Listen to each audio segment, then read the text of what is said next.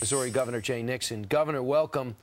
Uh, good morning. It's been a long night in Joplin, Missouri. We have uh, significant assets down there, the National Guard, others, uh, as we uh, continue the search and rescue to find uh, living folks in the wreckage this yeah. morning. Governor, we know that the death toll in that area stands at 89 right now. We're looking at live images of the hospital that was particularly hard hit. What can you tell us about what happened there? Well, Freeman Hospital was directly hit. Uh, that has now moved all the folks out of there. There were some serious injuries because of that.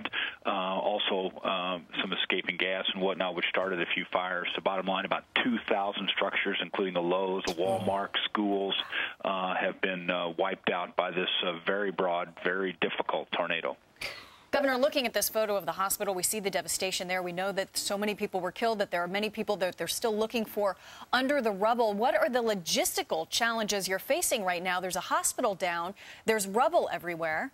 Well, we called in our, our highway patrol command truck last night because of the lack of communication. We then called up the guard to get them boots on the ground to assist the local first responders. We also have Kansas City Fire Heavy Rescue to move significant buildings, as well as uh, Task Force One, the uh, uh, with the dogs that can uh, search and find uh, living folks that have been injured. So we have a number of assets in the in the theater now, and uh, we'll be working this morning to find those people who are in the rubble and alive and get them out. Governor, you know every tornado has its own characteristics. In this, it seems like the number one story will be the power in which it hit and the width in which the, the, the wave of destruction came through. Would you say the same?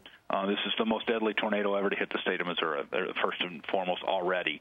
Uh, the width of this, as much as three quarters of a mile at one point, relatively long, and the target right down central, that, that hospital, uh, the other uh, uh, necessary uh, services down there, the fire department was hit, the police department was hit.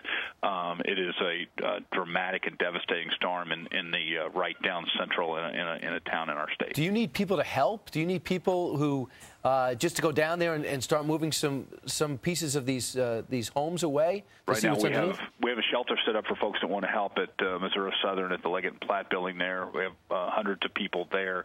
The bottom line is we're doing a very organized uh, search and rescue process now, and, and because of the down power lines, the gas lines cut, it's important that the professionals with their dogs and other assets uh, do that. Um, we're in the middle of beginning that significant sweep through the entire area. Once we're completed there, ensure that we have cleared the area uh, then we'll begin to rebuild. But we think there are lives to be saved still down in the rubble. Sure. And uh, Governor Nixon, I know that in times like this, uh, while people are watching from faraway places, they're thinking, how can I help?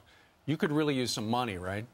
Absolutely. Um, the uh, we're we're focused on search and rescue now, but the Red Cross and others uh, have been very helpful. This will be a very expensive and long time recovery.